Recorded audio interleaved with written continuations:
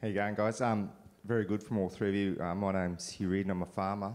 Um, there's a question for Nicholas and just around the the indoor vertical farming model, like something that I've heard, and, and I'm an outdoor farmer and, and limited experience in hydroponics. So if you go outdoor farming where you get all environments, and then you've got hydroponics, which is semi-controlled. So, and then indoor farming's the next sort of evolution that, that where it's completely controlled. What what I've been told is that the the plants lack conditioning, they lack muscle, and, and then that leads to poor shelf life. You know, so so you've got limited um, opportunity to sell it, or you need to be close to market, which is one of the advantages of, of um, vertical farming. But I was just wondering whether that's true because, yeah.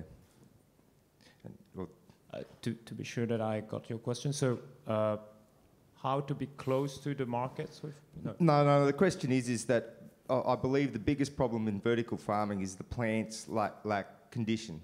They lack environmental stress, which is which um, is leads to poor shelf life. Um, is that is that true? And and from my experience, I would say that is true. I can give. Uh, I've visited a lot of these uh, vertical farming companies when I've been travelling. Because they're using LED lighting and different light spectrums, they actually remove that problem. That was one of the teething problems to start with. So I, what I see is they're a lot more robust, and depends on what crop you talk about, right? And some lettuce tops, is more difficult than others. But they're, what they're doing is really smartly using LED technology or lighting technology to actually improve that robustness um, of product. Because if you, just for an example, if you go to field grown cos, I'm not sure if everybody would agree with me, yeah. field grown cos versus a head to head with a hydroponic cos um, on a shelf life, uh, you know, point of view, um, the, the field grown cos grown well would, would be better, but obviously the hydroponics, the consistency and all that time over, if you've got difficult field growing conditions, yeah. the, the hydroponics wins out. So that's the balance, right?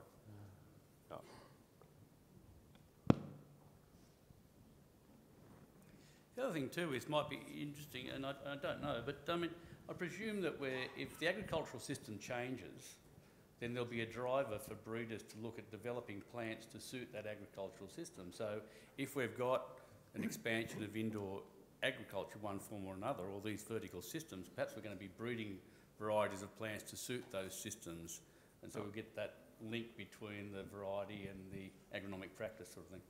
And what we see now is a lot of, and I'm, I'm fortunate enough to travel around several places and meet several growers where we've got problems with land, with nematodes and everything else.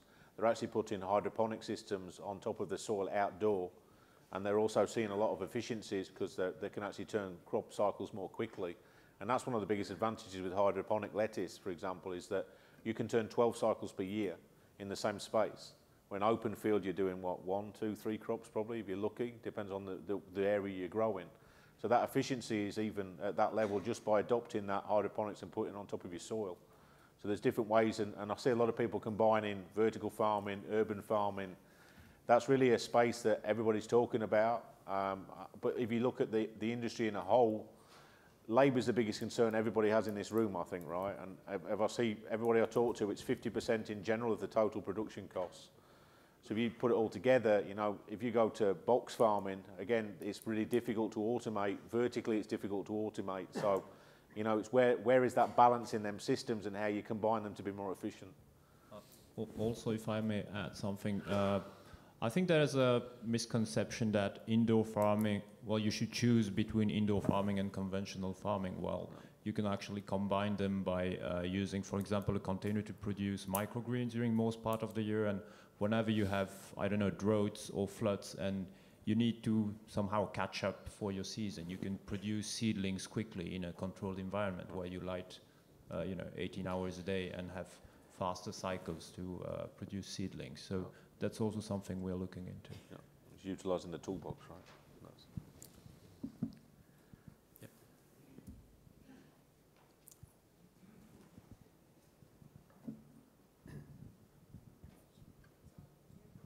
Yeah.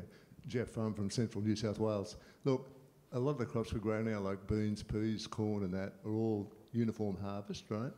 How do we get some of the other plants to come on to get that uniformity? I mean, is it genetically within the plant that they have a multiple maturity rate for their elongation for propagation of seed within that plant? Or do they try and you know, mass produce like corn will that's already on one day? can we actually breed that into the plant to make broccoli and cauliflower easier to harvest? No, it's, it's, part of the breeding toolbox. So if you look at double haploid technology, you look at the CRISPR technology, it's utilising all of them things.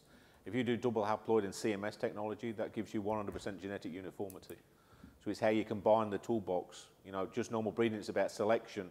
If you look at the tools that some of our breeders are working with now, they can have 2,000 plots, but because of the markers and the, the chipping technology they use, they can go to exactly the right plot at the right time.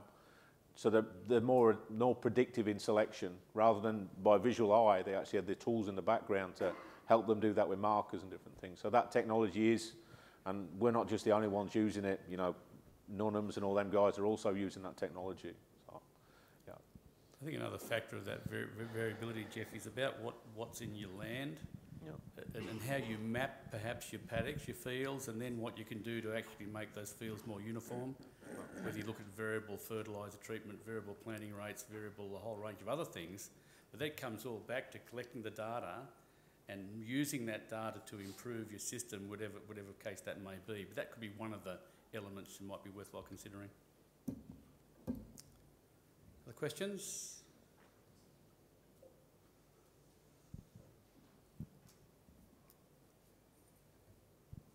Just a, a question for Eric. You, you briefly mentioned IF 2020, and uh, that's a program over there, is it? Could you explain a bit more about that? Yeah, well, IOF 2020 is a European program. Uh, it runs 19 use cases on Internet of Things uh, in all different sectors, so in the vegetable, in the fruits, in the uh, meat, uh, so all uh, agricultural uh, businesses. And also through the whole value chain. So there are use cases that are more uh, at the field. So the one I showed on, on weeding, and there are more active in the collaboration between farmers, and there are more cases are more into the value chain up to a retailer or something like that. So they, they identified uh, these use cases to have a broad spread in, in the agricultural domain. So that, that's, that's, that's one X. And, and on the other X, you have a technology X, where technology providers are that are making IoT, IoT systems uh, coming in most cases from other businesses, uh, try to learn all the use cases from agriculture, how, how it works, how you can uh, have safe data. Uh, for example, we had to do a stride analysis to have a, a, yeah, a safe data value chain. It was completely new for us. Uh, but we learned a lot from it. So it's very good that also the other industry is in interfering in, in our projects.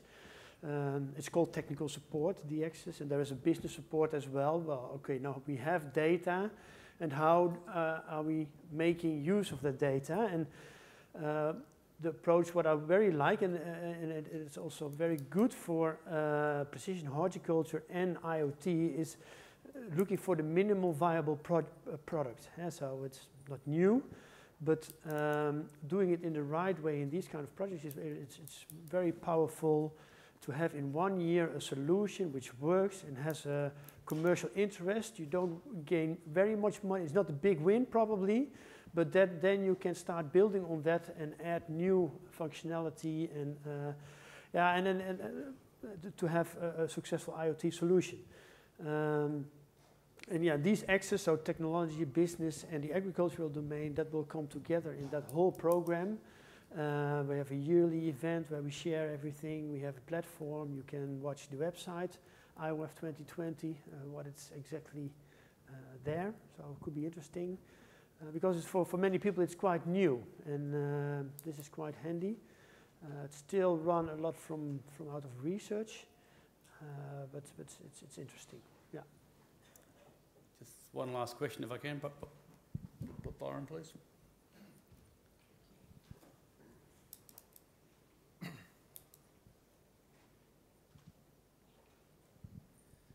Eric, it was uh, Byron from Hort Innovation. It was great to see that broccoli harvester and even that you wouldn't show us the video because it's close to commercialisation. So um, my question is, how soon will we be able to order an automatic broccoli harvester at an event like this? How far away are we? Uh, well, uh, it will be a four-row uh, selective harvester.